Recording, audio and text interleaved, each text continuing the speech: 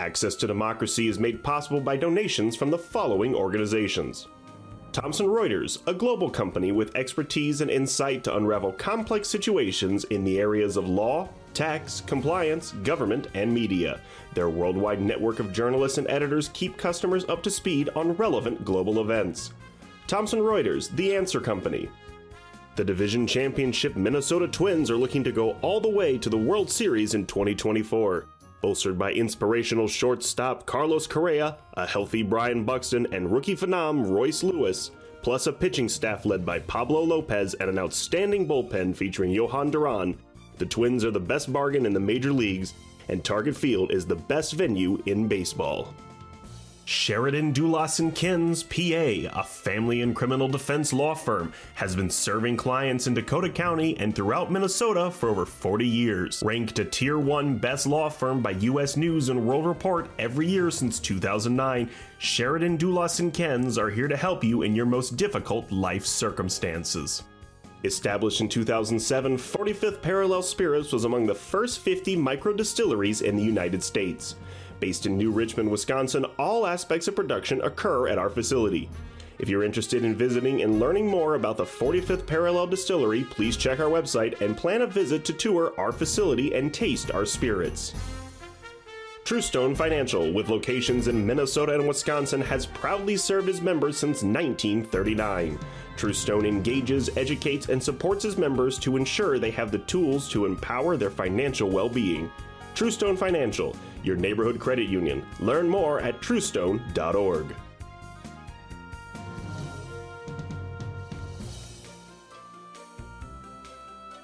Hello, welcome to Access to Democracy. I'm your host, Steve Francisco. It's a real pleasure to welcome to our studio this afternoon a return visitor to Access to Democracy. The last time Laurie Halverson appeared on our program, she was serving in the Minnesota legislature. But for the past several years, she has a new job. She is uh, still relatively new, the Dakota County Board of Commissioners. Welcome, Laurie Halverson, to Access to Democracy. Thank you so much for having me.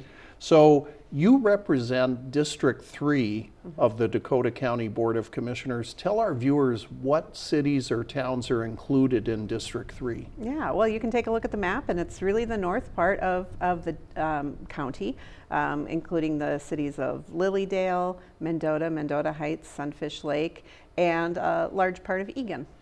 Do the boundaries for county commissioner districts, do they change very often? Is it once every 10 years like legislative districts? Yep, just like the legislative districts, our districts change based on shifts in population. And it actually was interesting because I was elected to a four year term in 2020.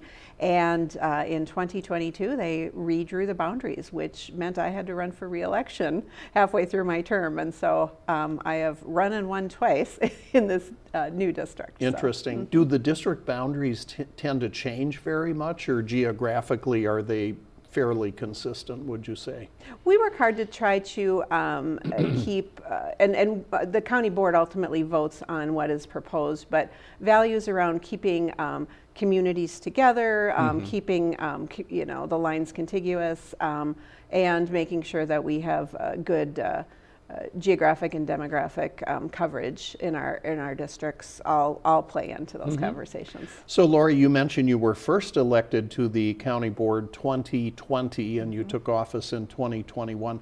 What committees do you serve on on the county board? Mm-hmm. Well, the county board itself um, has a, a, small number of uh, committees of the whole, and so I actually get to chair the Community Services Committee, which has uh, oversight and responsibility over all of the, the services we provide from mental health to um, child wellness, public health, um, and uh, the list goes on.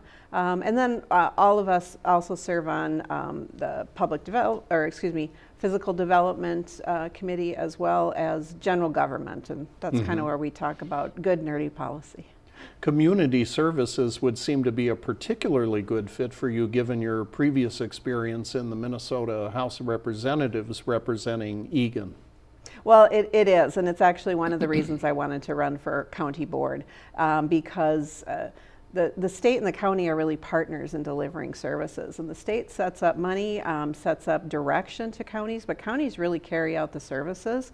And so doing that hands on work and being on the ground really was important to me and uh, it's it's exciting to see you know the things that happen. Uh, mm-hmm. Uh, we've built um, a shelter for teens in Dakota County since I've been on the board. We are building a mental health crisis center um, in Dakota County since I've been on the board, and so um, and then uh, increasing the number of social workers that we have working in our communities, embedding social workers into uh, police departments. All of those things um, really are boots on the ground work that I get to be a part of every single day. So because of your committee assignment, your chairmanship of that particular committee.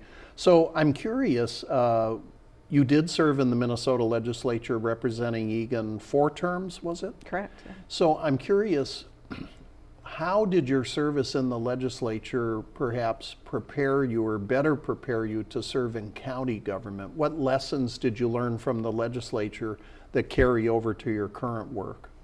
Well, certainly the policy. I served on Health and Human Services um, Finance for all eight years I was in the legislature. I served in the Commerce Committee, and I served on the um, State Government's Finance uh, Committee and Elections. So all of those um, responsibilities really are carried out in big ways by counties. Mm-hmm. And so um, uh, I understand the, the policy quite well, uh, built relationships, but also um, understanding the, the important roles that counties play. That's something I learned a lot about in the legislature, that uh, counties are just vitally important to the way that our communities uh, function, the way that our communities are healthy, the way that our communities are safe.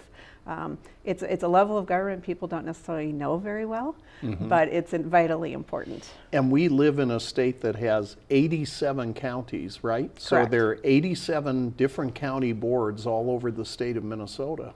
Yes kind of an important part of government that we should have a better understanding of. Mm-hmm. Yeah. And county boards actually work together as well, which a lot of people probably don't know. But there is an Association of Minnesota Counties, and mm-hmm. we get to know each other from around the state and share ideas and uh, share knowledge and uh, create partnerships. And Laurie, would it be fair to say that even though you have those partnerships and relationships with other counties, the concerns, public policy concerns, or issues that you may be dealing with in a suburban metro area such as Dakota County may be quite different than a more rural county in far northwestern Minnesota. Would that be fair to say? You know, I think that there are similarities and differences. Mm-hmm. I, I, often look at Dakota County as a microcosm of Minnesota because we do have very rural areas of our state.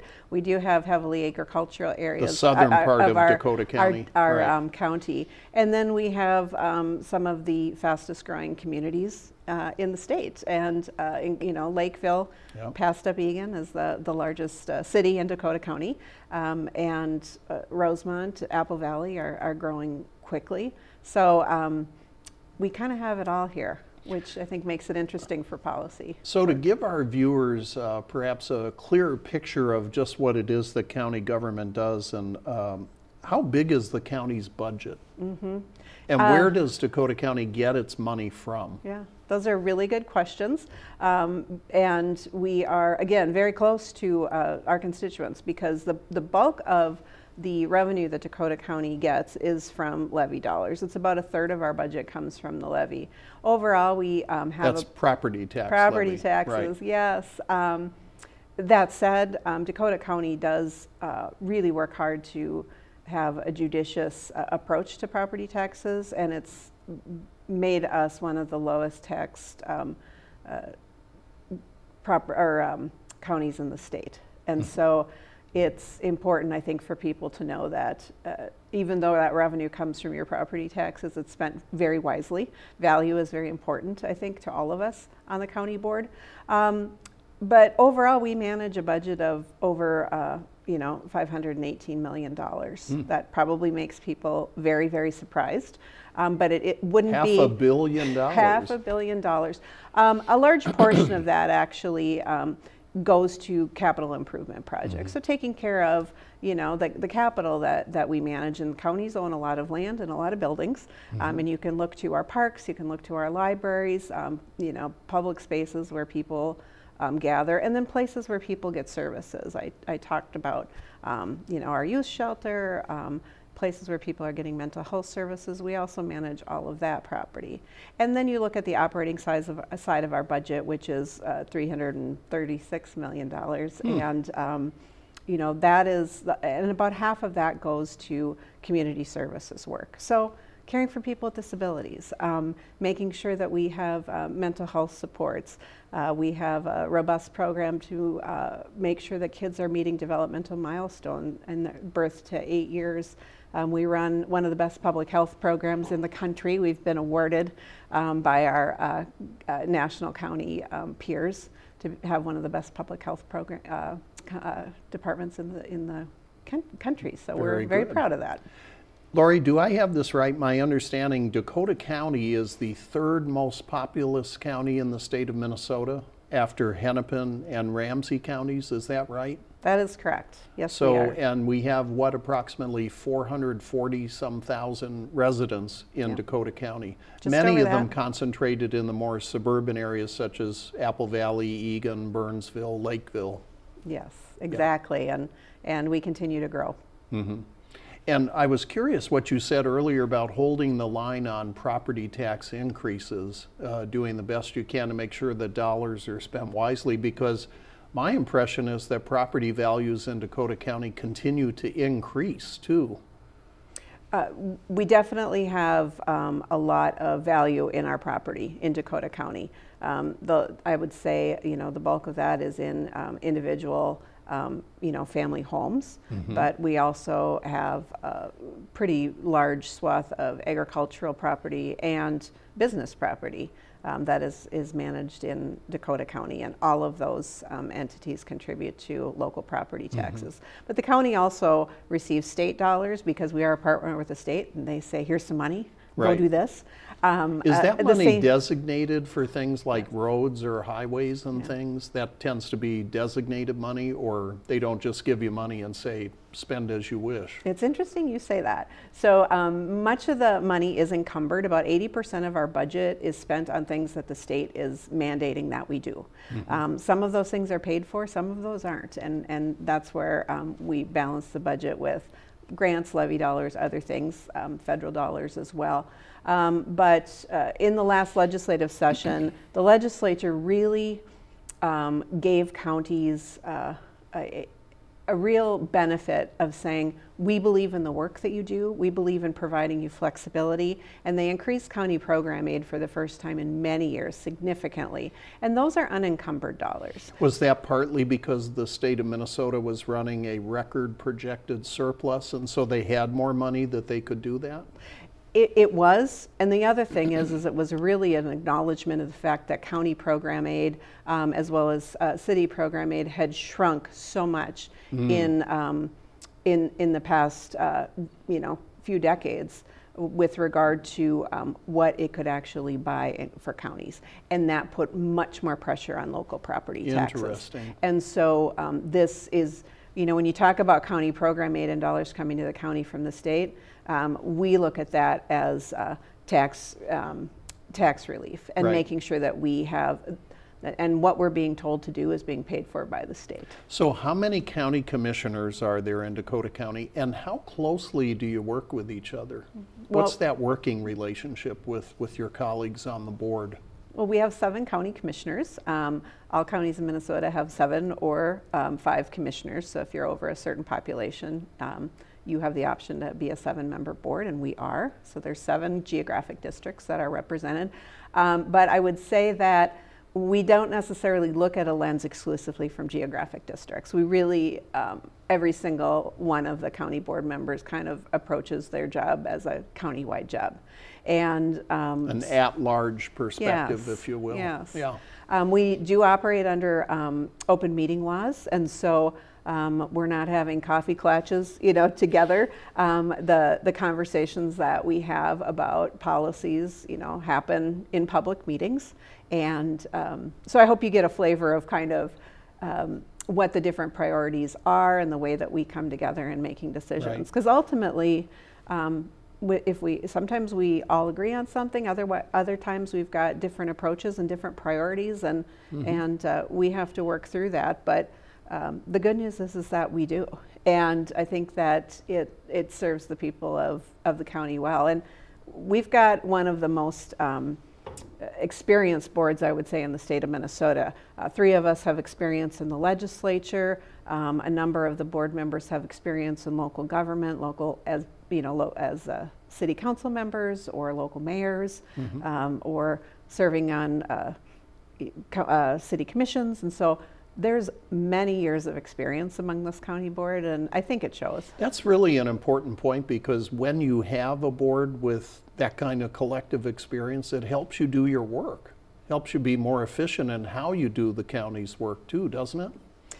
It definitely does. And I think that um, it also uh, means that you've got seven people who are really experienced at um, negotiating, at mm-hmm. uh, getting to know how issues work, and um, finding solutions. Mm-hmm. How closely does the county board work with our legislative delegation? We work very closely with our legislative delegation. I was at the, the Capitol for a few hours yesterday um, testifying on some bills um, that our legislative delegation is carrying on behalf of Dakota County. And um, we're on the phone regularly with them during the legislative session and outside of that to develop um, policies.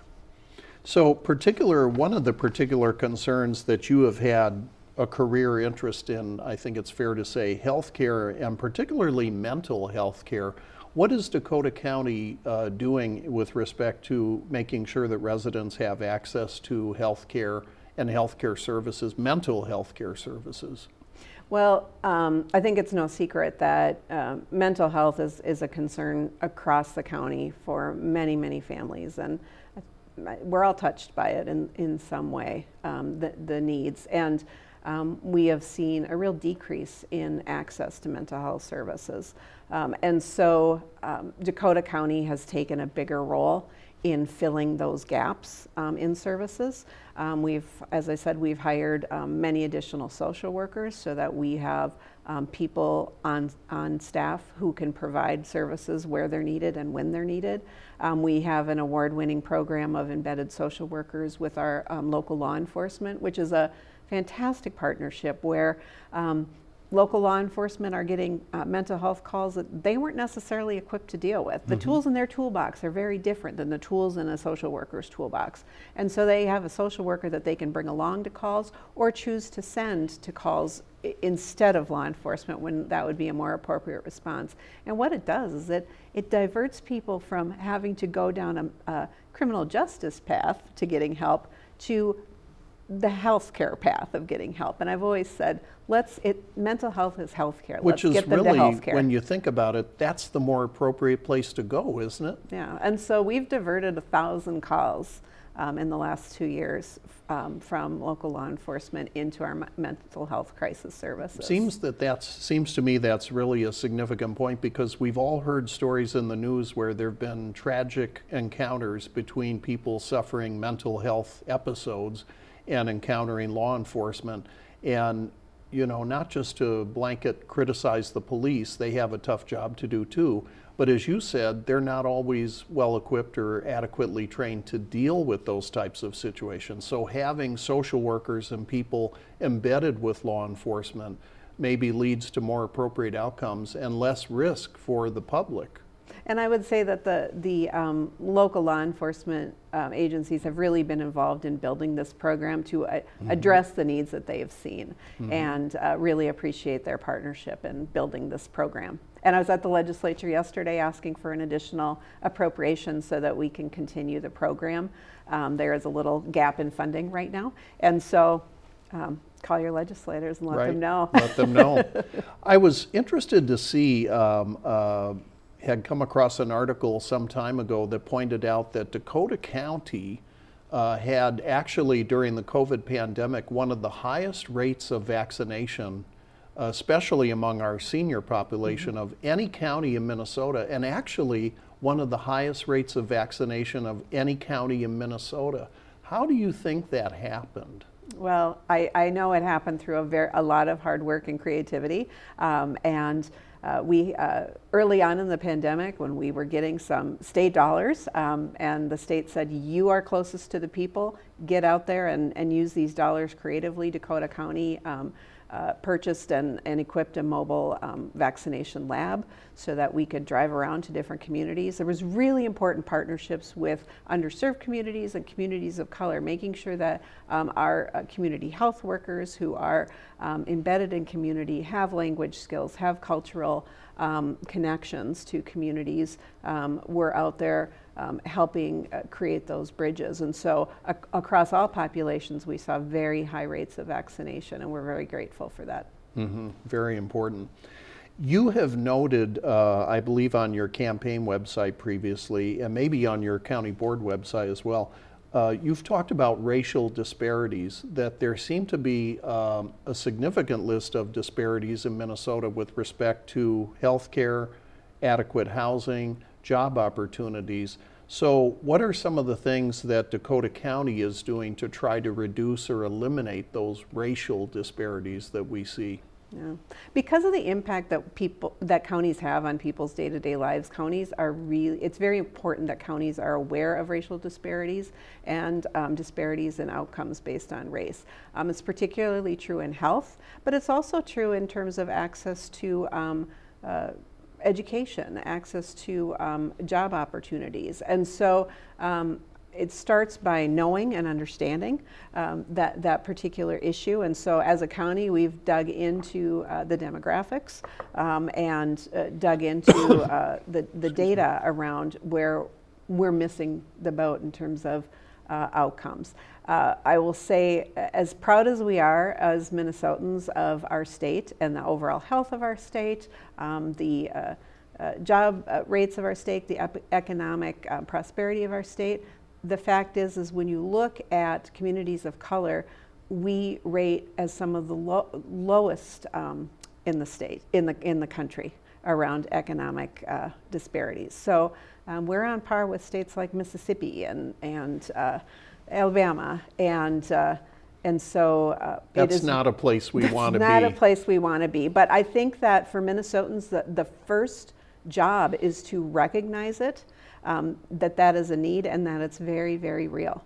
And, um, and then it is about uh, working with community and uh, diving down into what the root causes are. And we're uh, working on a project now to um, create what's called Family Resource Center, which are community based creations mm-hmm. that the mm-hmm. county comes in to support. And so we can provide county services. Very often, the government isn't always the best first face right. that people see. And community needs to be that first face. And so we're um, looking at getting some private grant dollars to begin building those um, family resource centers. Well, and luckily we live in a state with a significant number of nonprofit organizations that can help meet some of those needs too. Mm-hmm. And we do partner quite closely with nonprofits. The county does. Yes. Yeah, very good.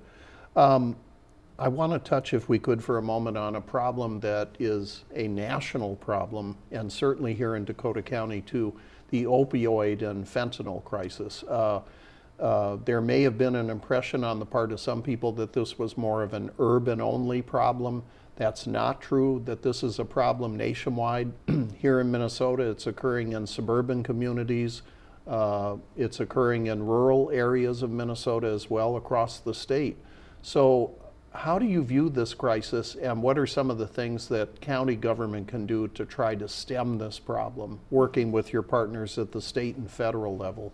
That's a, that's a great question. And, and honestly, the, the, um, st- our, the state of Minnesota was, was a state that um, was part of a lawsuit against the opioid manufacturers and the distributors. And so we have a settlement coming to us, and there is a community um, board that has been put together by the county to um, work on uh, root causes and work on solutions. Um, some cities are doing some remarkable work. Um, South St. Paul, West St. Paul have built a partnership and are applying for state money um, to help uh, with their opioid response. This community of Hastings has been very, very proactive with their um, partners like the YMCA and getting education out there. Touches my mom heart because this is uh, an issue, this is a, a, situation where we don't have room for error. And uh, experimentation can, can be deadly. And uh, we know that um, addiction and uh, overdoses continue to rise, and our goal is to uh, reduce or eliminate um, addiction and death in our communities from opioids. It's good to hear that we're part of the legal action against the opioid manufacturers. We had Skip Humphrey, the former Attorney General of Minnesota, was on our program last year, mm-hmm. and we recounted some of the history in the landmark tobacco settlement, which led to Minnesota and other states receiving, you know, tens of millions of dollars that could be put toward education and treatment for people uh, addicted to nicotine products, and also limitations on how those products were being marketed and manufactured. So maybe a similar path uh, we could look for with respect to opioids. We definitely, um, at the Capitol, took that approach, um, modeling it after the settlement with tobacco. Right. The other thing I will say about tobacco being a public health advocate is that um, they're back, and we also are receiving a settlement from Juul um, for the way that they targeted um, youth uh, with vaping. Vaping, and right. so um, public health work is, is very broad, and the county is the first line of defense right. for, for our communities. Laurie, we're down to just a few minutes, and uh, I want to touch, if I could, on what I think is one of the crown jewels of living in Dakota County, if I may put it that way, our county park system. My wife and I and many residents enjoy our county parks, particularly we live not far from Lebanon Hills. We love going on the nature trails and hiking trails in the park and it's hard to believe that we're in the middle of a major metropolitan area. Once you're in the middle of Lebanon Hills, you feel like you're in northern Minnesota. Um, the county plays an important role in obviously maintaining those parks. And say a word, if you would, about how much in resources does the county put into maintaining our county park system?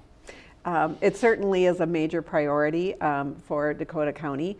And um, I, I, can't give you an exact number of what we put into it, but it is a, a priority. It's something that we uh, work hard for at the legislature to get the legislature to get state resources mm-hmm. for as well.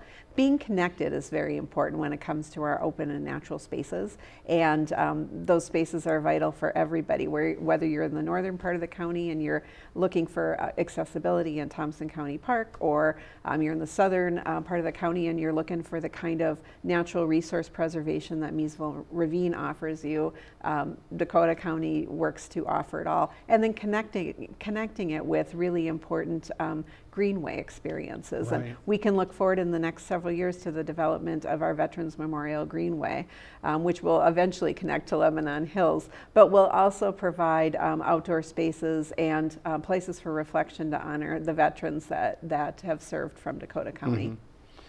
We should uh, mention we're down to about two minutes here. Um, where can viewers go if they want to learn more about your work on the Dakota County Board and, and what county government is doing? Yes, well, certainly the Dakota County um, website is, is a great resource. Definitely recommend people check that out. You can find very detailed budget information. You can also find contact information for your county commissioners if you have a question or want to learn more.